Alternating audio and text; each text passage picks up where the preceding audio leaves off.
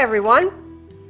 I'm Yvonne Touchtone. I'm your virtual host coming to you from Painted Raven Studios here in Ocala, Florida. Today, we will be doing some virtual interviews with Annette Abbondanza and Holly Redfeather Harris, the Native American flute and world music duo of Painted Raven. We will also be having some interviews with guest musicians that appeared on their latest CD, Taking Flight. My first interview is going to be with Annette Abbondanza, who started Painted Raven back in 2002. Hi Annette, how you doing? I'm doing well. Thank you so much, Yvonne.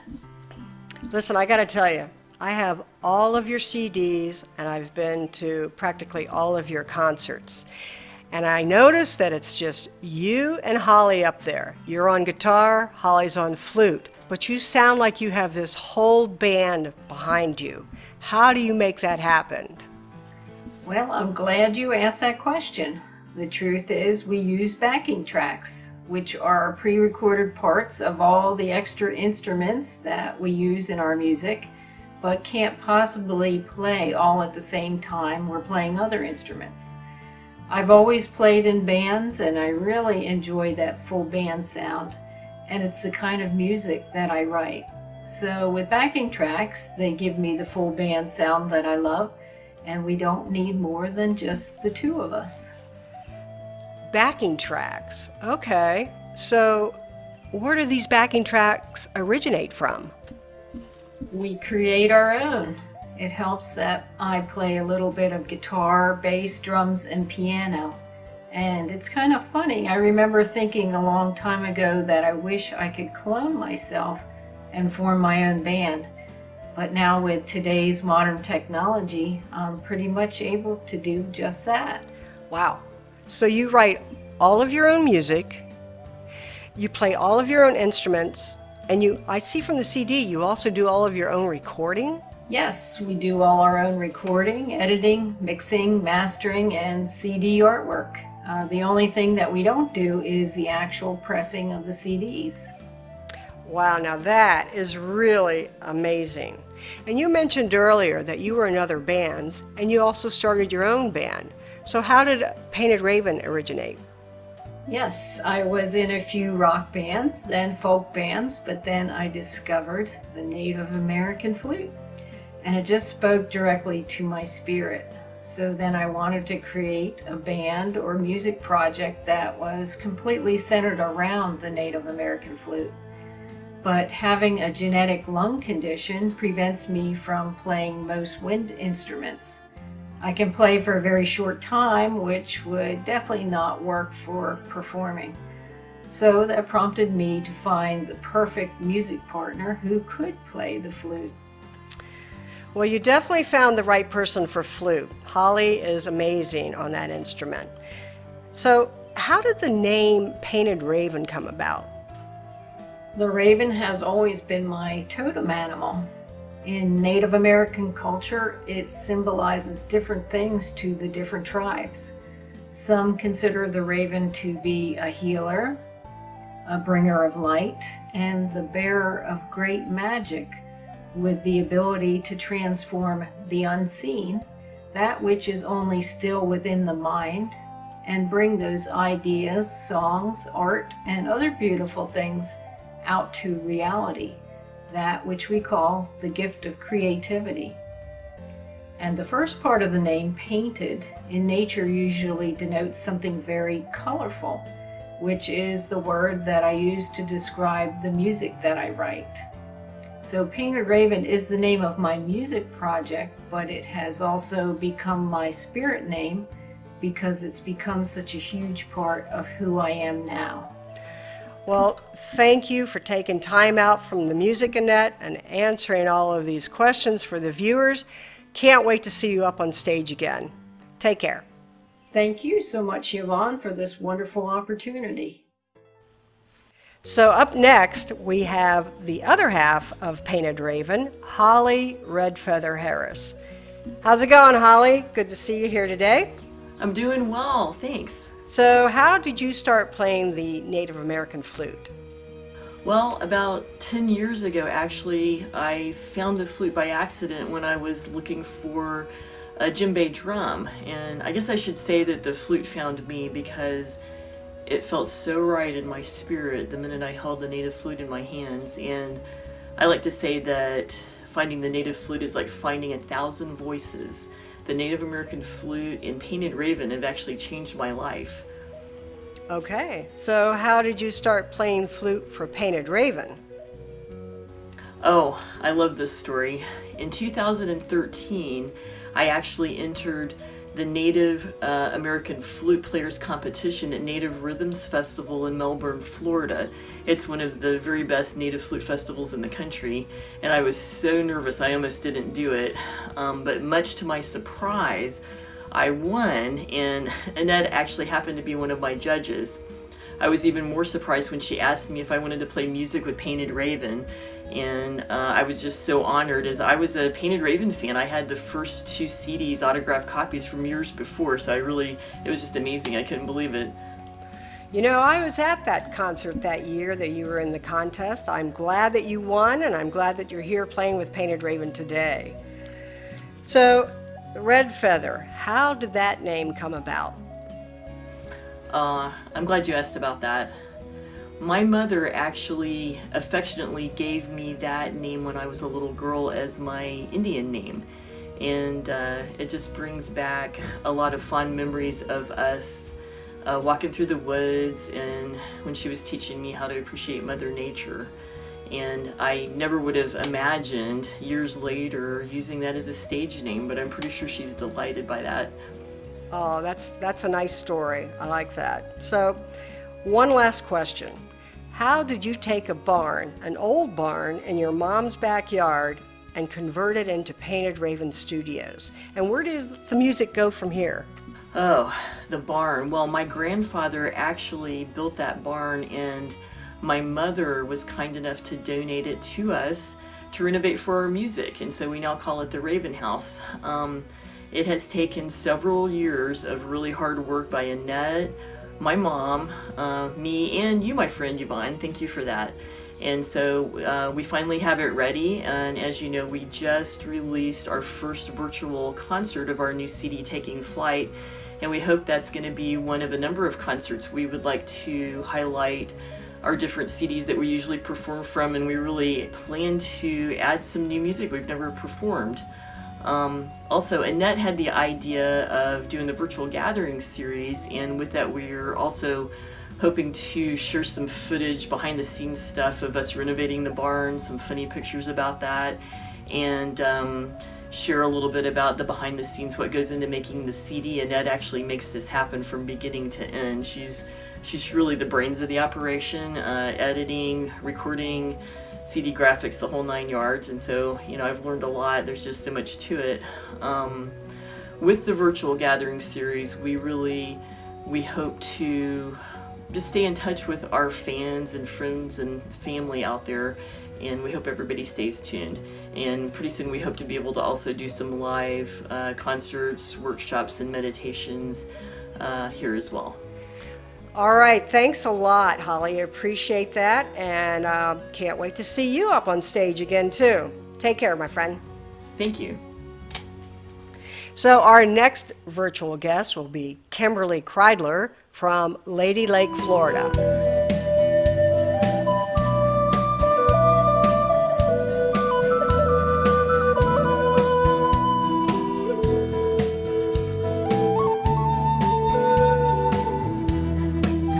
So, Kim, it's good to see you. Can you tell us how you got started with Native American flute? Hi, Yvonne. It's great to see you. I first became interested in native flute in the 1990s, but didn't actually start playing uh, seriously and composing for flute until about 2012. That's the year I went to my first powwow and was fortunate to see Utah Ferris, Edwin Dancer, and Arvel Bird all playing flute as part of their presentations. I was completely wowed and uh, decided to try to start learning as much as I could about flute and trying to compose some pieces for myself. Um, and soon after that, I hooked up with uh, Riverwind Flute Circle in Leesburg. Central Florida Flute Circle in Plant City and Southwind Flute Circle in Clermont, and met some absolutely wonderful mentors and friends there. Started to learn to play with and for other people and eventually started playing out in the community. And one of the places that we went to learn as much as we could, of course, was the Native Rhythms Festival, which is where I met uh, you, of course, and Annette and Holly. Uh, actually, Holly beat me the very first year that I tried to play in the flute players competition totally beat the socks off me. And it was soon after that that the two of us went over to the Painted Raven booth, and Annette was extremely encouraging to both of us. And uh, that's kind of where we connected. So I see you're a guest musician on several of Painted Raven's CDs, Kindred Spirits, Crossroads, and their latest one, Taking Flight, where you and Holly do a duet on Wolf Wisdom, which is one of my favorite songs. Tell us the uh, inspiration behind Wolf Wisdom. Wolf Wisdom was a really fun collaboration with Annette and Holly. It was inspired by um, my belief that the wolves have a lot to teach us uh, because they're social creatures, pack animals. Um, they can teach us, I think, a lot about um, community and communication, about collaborating with one another successfully, about things like perseverance and wisdom. But perhaps the most urgent lesson I think they have to teach us is the importance of wildlife conservation and habitat preservation uh, because wolves are an extremely important cascade species. We know that whenever they succeed throughout their range, the entire ecosystem thrives. Uh, but when they fail, the ecosystem soon follows. All right. Well, thank you for that. So tell us about your CD, One Breath, and how would viewers go about ordering that music from you? So, yeah, thanks for asking about the CD. It's titled One Breath. It's a collection of 10 original solo flute pieces. Uh, let me see if I can get a picture of it in here for you. You can see Joyce Bagaski's beautiful artwork and Annette's beautiful graphics. Uh, so the CD is actually a collection that's thematically based on the ancient idea that one breath flows from the Creator, informs the cosmos, inspires all life, and returns to the Creator. The idea that we all share one breath and we all are one breath.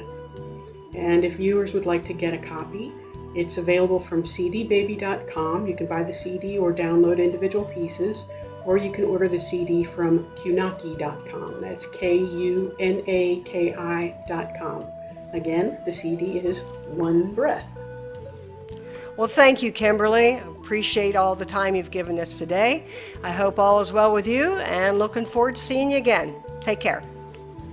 Thank you, Yvonne. It was my pleasure. Take care. Hope to see you again soon, my friend. So, our next virtual guest will be Ken Holt from Melbourne, Florida. Ken played electric guitar on the song Living Life off the new CD Taking Flight. He also played slide guitar and mandolin on one of my favorites, Tumbleweed, which is also on that same CD.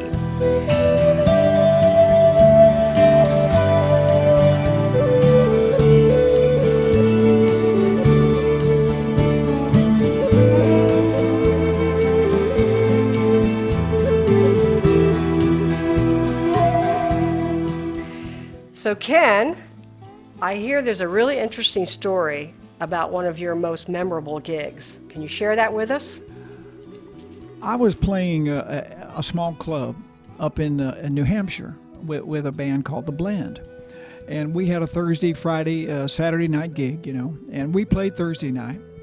And then on Friday morning, uh, our manager called and said, um, Would you like to play tonight at, at the Boston Garden? Opening for The Who. Well, you know, we, we thought about that for about one second and said, well, hell yes. and then someone asked, well, well, what happened to the band that, that was opening, you know, for The Who before? Well, come to find out, you know, The Who didn't like the set they played and had fired them the night before. So, you know, we're feeling a little bit of pressure. We went down, loaded our equipment into the garden, and, uh, and, and as I remember, you know, we even got a sound check, which is amazing. Well, one of the funny funny things was I thought, you know, some of our friends who had seen us, you know, the, the previous night in this small club in New Hampshire had driven down to, to Boston to see The Who. And man, weren't they surprised when we walked out on the stage? Man, you could hear those 10 people screaming all over the garden. Well, we had a good set as far as I know. It was 25,000 people there. I mean, the, the, crowd seemed to like us. You know, we didn't get booed, which is always a good thing. And nobody pulled the plug on us, which is also a good thing. And I got to hang out within three feet of, of Roger Daltrey and Pete Townshend and Keith Moon. And that was an experience, I'll tell you. So that will always be one of my most memorable gigs. And, and as a footnote, you know, the next night we were back at that small club in New Hampshire. How about that? The Who? The Who. Wow, wow. Who knew? And here you are now playing with Painted Raven. Doesn't get any better than that, does it? No, I'm just kidding. No, I'm not. They're my favorite band. But let's move on. So, Ken, tell us about your music project, Ken Holt, Who I Am, and your CD, Who I Am with You, and let the viewers know how they can order your music. If I were to sit down and uh, and make a list of the uh, of the characteristics, you know, that describe me as a person, you know, I, I would write down things like uh, like father, uh, animal lover, uh, musician, uh, progressive child of the 60s, you know, surfer when I can get in the water, uh, a Presbyterian, so there's that, that faith element, you know, honest, you know, I try to be, you know, uh, hopefully relatively kind, you know, and, and each one of us, you know, I mean, we can all make that list, right? Make our own list. Well, I, I decided that, that I wanted to have a music project in which the music and the lyrics and the video and the stage presence, all of it would say something about who I am as a person. I wanted to be as authentic and honest as I could, i.e., Ken Holt and who I am. You know, and it sounds like the name of a band, doesn't it? You know, Ken Holt and Who I Am. Well, over the last couple of years, uh, you know, there have been uh, a number of, uh, you know, really talented people who have helped me to uh, to create and and reproduce my music, and I am very grateful for the gifts that those folks have brought to my table. So thank you very much. I appreciate it. And, you know, I work out of uh, Little Man Recording Studio, which is in my home in Satellite Beach, named after my Chihuahua, Little Man. Well, recently I, I added a. Uh, a video room, and I am just, you know, having a blast recording tracks and uh, and learning how to do lyric videos in green screen. And if you want to hear my music, and I hope you do, you can hear some of my music on Spotify, um, Ken Holt and Who I Am. My YouTube channel is uh, Ken Holt and Who I Am. So uh, I hope you uh, you will check it out. Please do. So you know, I mean, that, that's just a little bit about uh, what's going on with me, and I, I appreciate you asking. Thank you. Well, thank you, Ken. We appreciate you taking the time out for our interview. Good luck with your music in the future and look forward to seeing you again. So next up we have Danica Lee from Palo Pinto, Texas.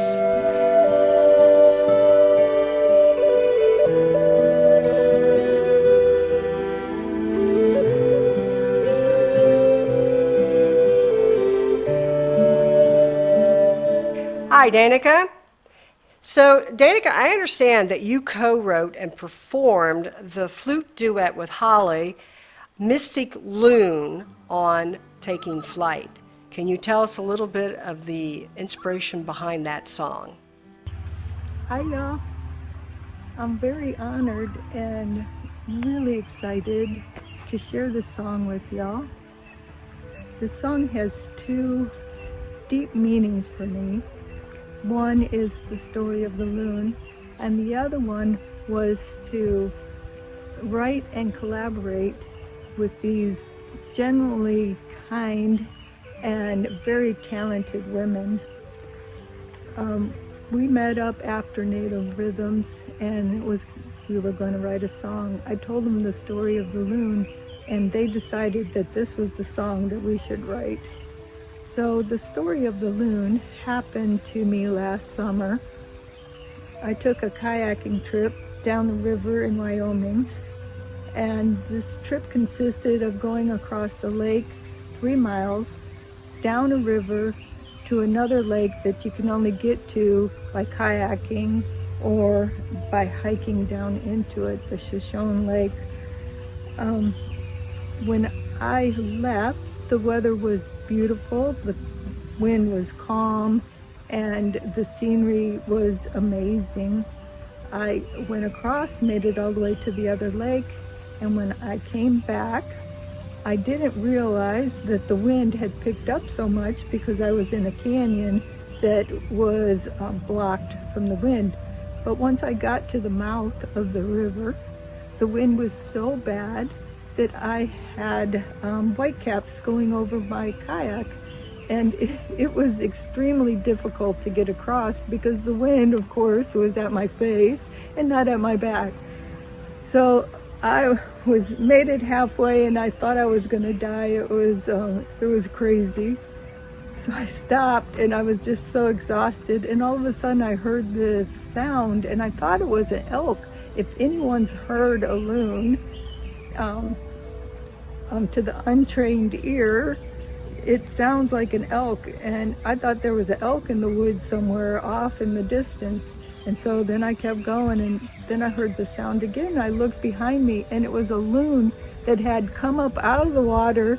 It, it was something to see. I had never seen a loon before, but it had come out of the water and it spread its wings and it was completely out of the water. Um, and started talking to me. Well, I turned around and, and pretty soon it disappeared. And I'm like, wow, did I just see what I saw? And then the loon came back up again. And I don't, uh, it's hard to explain, but this loon went so fast across the water using just its wings and it just went across towards the direction that I needed to go and then it disappeared again pretty soon it came back up and just was spreading its wings and just talking to me. It gave me um, the, the strength and the break I needed to make it across that three mile lake. And you know, this loon disappeared again. It went under the water and I never did see it again. I don't know what happened to it. Um, the girls say that um, now my spirit animal is a loon.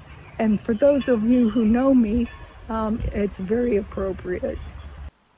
Wow, well, I certainly am glad that loon showed up and got you safely across that lake and you're able to be here with us today.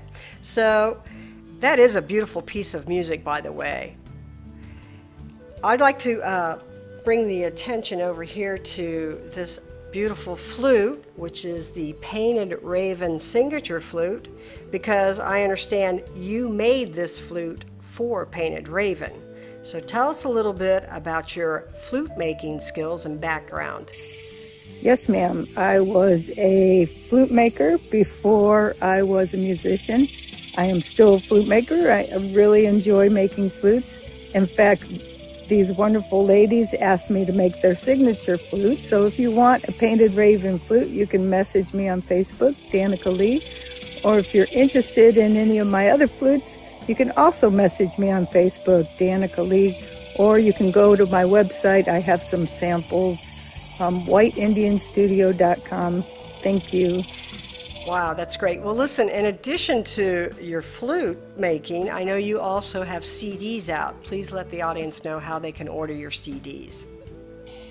Yes, thank you for asking. You can um, find my music on um, iTunes um, under Whirlwinds or Danica Lee. And um, soon it will be on Spotify and Pandora um, you can also um, get a hold of me and I will send you a actual CD.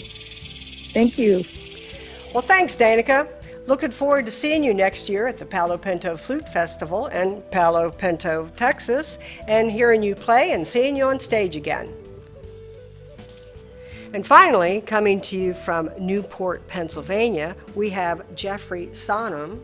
Geoffrey provided piano background on the beautiful song Because of You on the Taking Flight CD.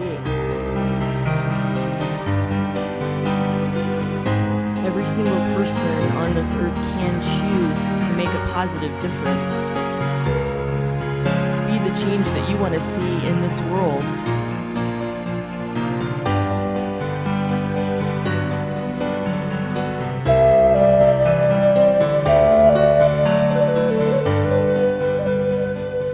So, Geoffrey, can you give us a little background on how you got started in music? Well, um, I made my start, uh, I guess, about two years after my mother had passed away when I was 16.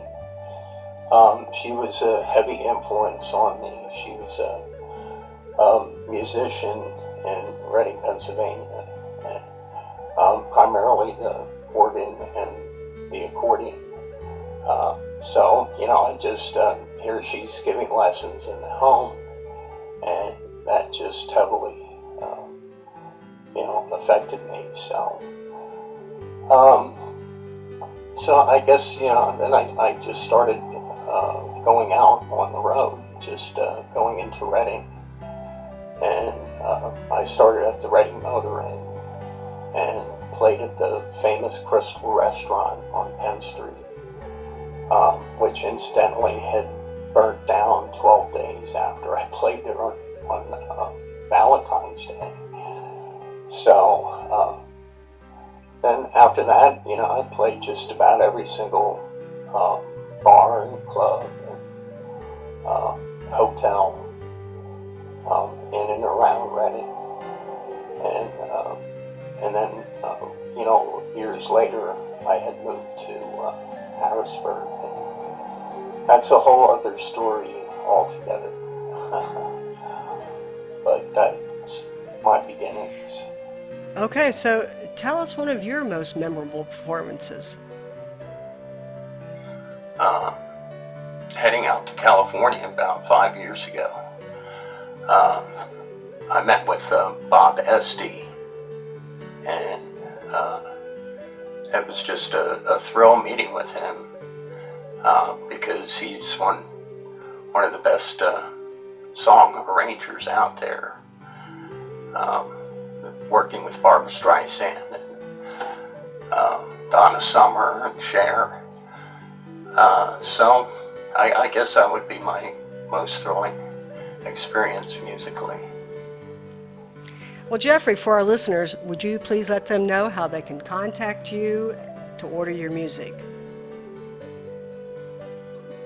I just wanted to say how grateful I am to be a part of this with Painted Raven. Uh, if you want to find some more of my music, I'm on SoundCloud, uh, Geoffrey Sonnen. Thank you. Well, thank you, Jeff. And I'd like to thank all of the musicians that joined us today for our first virtual webcast. And thank you for tuning in. And look for our future webcasts because more are coming. Thank you and take care.